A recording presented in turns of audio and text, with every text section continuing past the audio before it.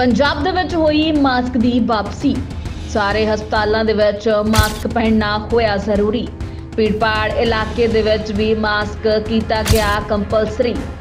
ਜੀ ਹਾਂ, ਪੰਜਾਬ ਦੇ ਵਿੱਚ ਮਾਸਕ ਦੀ ਇੱਕ ਵਾਰੀ ਫਿਰ ਤੋਂ ਵਾਪਸੀ ਹੋ ਗਈ ਹੈ। ਸਾਰੇ ਹਸਪਤਾਲਾਂ ਦੇ ਵਿੱਚ ਮਾਸਕ ਪਹਿਨਣਾ ਜ਼ਰੂਰੀ ਕਰ ਦਿੱਤਾ ਹੈ।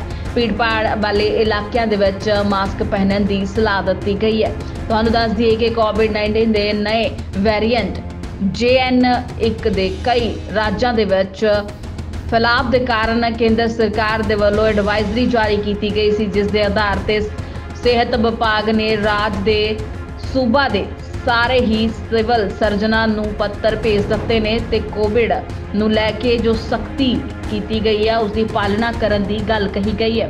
ਪੰਜਾਬ ਸਰਕਾਰ ਨੇ ਸੂਬਾ ਸਰਕਾਰ ਨੇ ਸਾਰੇ ਹਸਪਤਾਲਾਂ ਦੇ ਵਿੱਚ ਡਾਕਟਰਾਂ ਸਮੇਤ ਮੈਡੀਕਲ ਸਟਾਫ ਅਤੇ ਉੱਥੇ ਆਉਣ ਵਾਲੇ ਮਰੀਜ਼ ਅਤੇ तमाम ਲੋਕਾਂ ਨੂੰ ਮਾਸਕ ਪਹਿਨਣ ਦੇ- ਦਾ ਜੜਾਇਆ ਹੁਕਮ ਜਾਰੀ ਕਰ ਦਿੱਤਾ ਹੈ ਹੁਣ ਹਰ ਇੱਕ ਦੇ ਲਈ ਮਾਸਕ ਪਹਿਨਣਾ ਜ਼ਰੂਰੀ ਹੋਵੇਗਾ ਸਿਹਤ ਵਿਭਾਗ ਦੇ ਵੱਲੋਂ ਇਸ ਸੰਬੰਧੀ ਐਡਵਾਈਜ਼ਰੀ ਜਾਰੀ ਕੀਤੀ ਗਈ ਹੈ ਕਿ ਉੱਥੇ ਆਉਣ ਵਾਲੇ ਲੋਕ ਰਿਸ਼ਤੇਦਾਰ ਅਤੇ ਡਾਕਟਰ ਸਟਾਫ ਸਾਰੇ ਹੀ ਮਾਸਕ ਪਹਿਨਣਗੇ ਕਿਉਂਕਿ ਨਵੇਂ ਵੇਰੀਐਂਟ ਦੇ ਕਾਰਨ ਸਰਕਾਰ ਜਿਹੜੀ ਆ ਪਹਿਲਾਂ ਹੀ ਸਖਤੀ ਵਰਤ ਰਹੀ ਆ ਤਾਂ ਕਿ ਲੋਕਾਂ ਨੂੰ ਪਰੇਸ਼ਾਨੀਆਂ ਦਾ ਸਾਹਮਣਾ ਨਾ ਕਰਨਾ ਪਵੇ।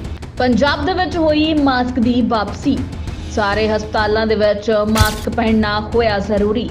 ਭੀੜਪਾੜ ਇਲਾਕੇ ਦੇ ਵਿੱਚ ਵੀ ਮਾਸਕ ਕੀਤਾ ਗਿਆ ਕੰਪਲਸਰੀ। ਜੀ ਹਾਂ ਪੰਜਾਬ ਦੇ ਵਿੱਚ ਮਾਸਕ ਦੀ ਇੱਕ ਵਾਰੀ ਫਿਰ ਤੋਂ ਵਾਪਸੀ ਹੋ ਗਈ ਹੈ। ਸਾਰੇ ਹਸਪਤਾਲਾਂ ਦੇ ਵਿੱਚ ਮਾਸਕ ਪਹਿਨਣਾ ਜ਼ਰੂਰੀ ਕਰ ਦਿੱਤਾ ਹੈ। ਭੀੜਪਾੜ ਵਾਲੇ ਇਲਾਕਿਆਂ ਦੇ ਵਿੱਚ ਮਾਸਕ ਪਹਿਨਣ ਦੀ ਸਲਾਹ ਦਿੱਤੀ ਗਈ ਹੈ।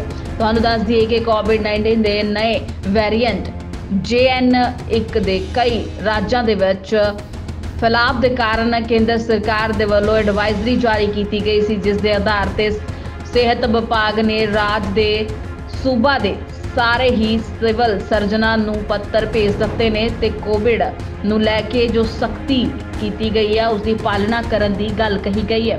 ਪੰਜਾਬ ਸਰਕਾਰ ਨੇ, ਸੂਬਾ ਸਰਕਾਰ ਨੇ ਸਾਰੇ ਹਸਪਤਾਲਾਂ ਦੇ ਵਿੱਚ ਡਾਕਟਰਾਂ ਸਮੇਤ ਮੈਡੀਕਲ ਸਟਾਫ ਅਤੇ ਉੱਥੇ ਆਉਣ ਵਾਲੇ ਮਰੀਜ਼ ਅਤੇ तमाम ਲੋਕਾਂ ਨੂੰ ਮਾਸਕ ਪਹਿਨਣ ਦੇ- ਦਾ ਜੜਾਇਆ ਹੁਕਮ ਜਾਰੀ ਕਰ ਦਿੱਤਾ ਹੈ ਹੁਣ ਹਰ ਇੱਕ ਦੇ ਲਈ ਮਾਸਕ ਪਹਿਨਣਾ ਜ਼ਰੂਰੀ ਹੋਵੇਗਾ ਸਿਹਤ ਵਿਭਾਗ ਦੇ ਵੱਲੋਂ ਇਸ ਸੰਬੰਧੀ ਐਡਵਾਈਜ਼ਰੀ ਜਾਰੀ ਕੀਤੀ ਗਈ ਹੈ ਕਿ ਉੱਥੇ ਆਉਣ ਵਾਲੇ ਲੋਕ ਰਿਸ਼ਤੇਦਾਰ ਅਤੇ ਡਾਕਟਰ ਸਟਾਫ ਸਾਰੇ ਹੀ ਮਾਸਕ ਪਹਿਨਣਗੇ ਕਿਉਂਕਿ ਨਵੇਂ ਵੇਰੀਐਂਟ ਦੇ ਕਾਰਨ ਸਰਕਾਰ ਜਿਹੜੀ ਆ ਪਹਿਲਾਂ ਹੀ ਸਖਤੀ ਵਰਤ ਰਹੀ ਆ ਤਾਂ ਕਿ ਲੋਕਾਂ ਨੂੰ ਪਰੇਸ਼ਾਨੀਆਂ ਦਾ ਸਾਹਮਣਾ ਨਾ ਕਰਨਾ ਪਵੇ ਸਾਡੇ ਦੇਸ਼ ਨੂੰ ਆਜ਼ਾਦ ਹੋਏ 76 ਸਾਲ ਹੋ ਗਏ, ਪਰ ਕਈ ਚੀਜ਼ਾਂ ਵਿੱਚ ਅਜੇ ਵੀ ਸਾਨੂੰ ਆਜ਼ਾਦੀ ਨਹੀਂ ਮਿਲੀ।